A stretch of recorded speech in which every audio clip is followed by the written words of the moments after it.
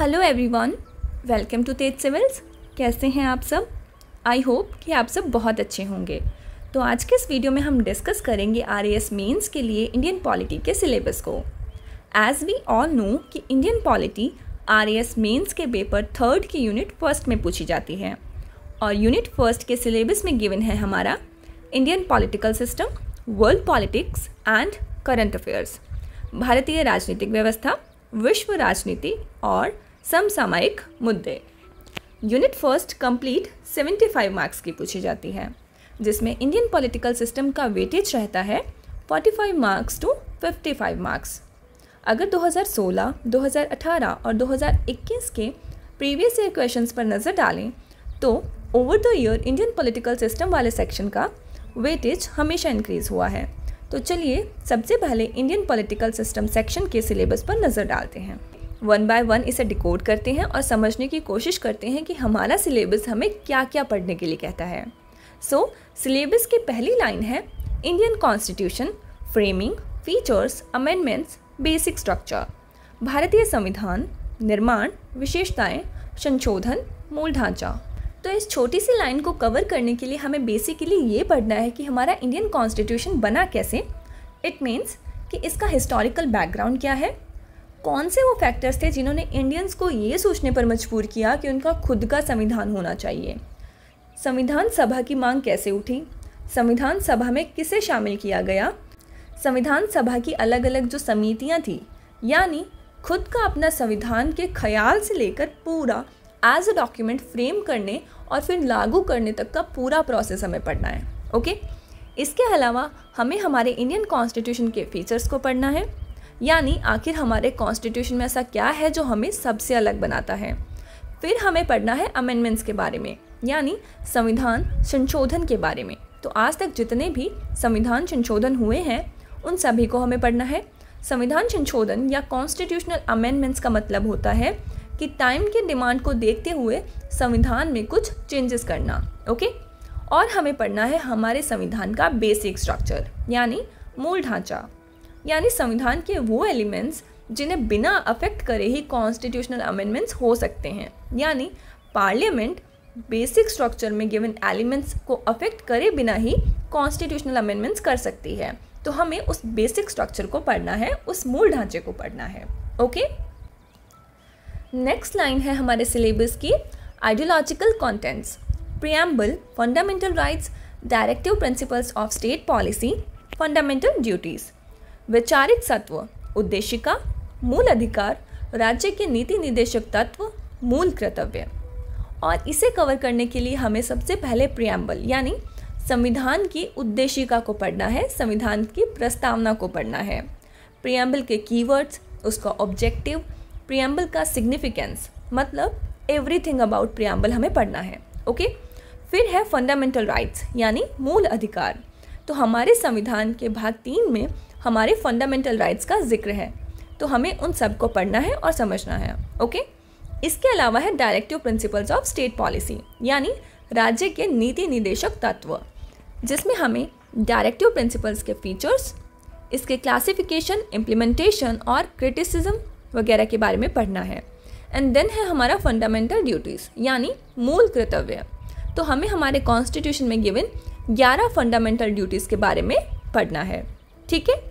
Next line है हमारे syllabus की इंस्टीट्यूशनल फ्रेमवर्क फ़र्स्ट जिसमें है parliamentary system president prime minister and council of ministers और पार्लियामेंट संस्थात्मक ढांचा फ़र्स्ट संसदीय प्रणाली, राष्ट्रपति, प्रधानमंत्री और मंत्री परिषद संसद, जिसमें हमें सरकार की संसदीय प्रणाली के features parliamentary form of government क्या होती है, इसके मैरिट्स और डीमेरिट्स कॉन्स्टिट्यूएंट असेंबली ने पार्लियामेंट्री फॉर्म ऑफ़ गवर्नमेंट को ही क्यों चुना?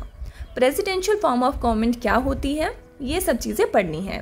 इसके अलावा प्रेसिडेंट, यानी राष्ट्रपति के बारे में पढ़ना है, जिसमें हम प्रेसिडेंट के इलेक्शन के बारे में, उनके पार्स, उनके कामकाज, प्रेसिडेंट के टर्म इम्पीचमेंट और वैकेंसी वगैरह के बारे में जानेंगे।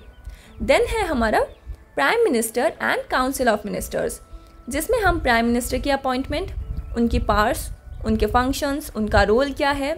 काउंसिल ऑफ़ मिनिस्टर्स क्या है? संविधान में इसके क्या प्रावधान है?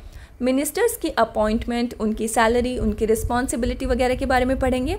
और फिर है हमारा पार्लियामेंट यानी संसद, जिसमें हम लोकसभा, राज्यसभा पार्लियामेंट के अलग अलग sessions types of majority functions of parliament वगैरह के बारे में पढ़ेंगे। ओके फिर नेक्स्ट है हमारे सिलेबस में given line institutional framework second federalism centre state relations supreme court high courts judicial review and judicial activism संस्थात्मक ढांचा सेकेंड संघवाद केंद्र राज्य संबंध उच्चतम न्यायालय उच्च न्यायालय न्यायिक पुनरावलोकन न्यायिक सक्रियता इसमें हमें फेडरलिज्म के बारे में पढ़ना है सेंटर स्टेट रिलेशंस के बारे में पढ़ना है जिसमें हमें वेरियस लेजिस्लेटिव एडमिनिस्ट्रेटिव और फाइनेंशियल रिलेशंस के बारे में पढ़ना है। हम जानेंगे राजमन्नार कमेटी के बारे में, आनंदपुर साहिब रिजोल्यूशन के बारे में वेस्ट बंगाल मेमोरेंडम के बारे में, सरकारिया कमीशन और पुंछी कमीशन के बारे में पढ़ेंगे। देन हम बात करेंगे सुप्रीम कोर्ट और हाई कोर्ट्स की। अपॉइंटमेंट ऑफ़ जजेस क्वालिफिकेशन ऑफ़ जजेस independence of judiciary supreme court और हाई कोर्ट्स की पार्ट्स और उनके फ़ंक्शंस के बारे में जानेंगे। ठीक है? और इसके अलावा बात करेंगे जुडिशियल रिव्यू और जुडिशियल एक्टिविज्म की, ठीक है?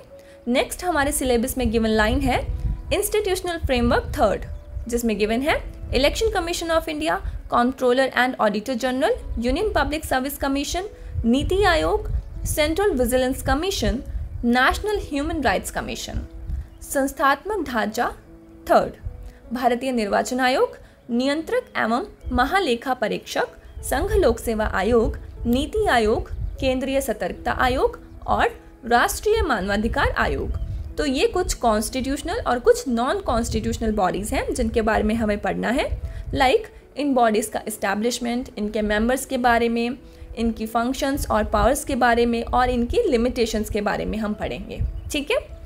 नेक्स्ट हमारे सिलेबस में गिवन लाइन है political dynamics role of caste religion class ethnicity language and gender in Indian politics political parties and electoral behaviour civil society and political movement issues related to national integrity and security, potential areas of socio political conflicts तो इसमें हम Indian political dynamics को cover करेंगे जिसमें हमें different different political parties को पढ़ना है पॉलिटिक्स में कास्ट रिलीजन लैंग्वेज और जेंडर का रोल डिफरेंट डिफरेंट जो राजनीतिक आंदोलन रहे हैं, उन्हें पढ़ना है।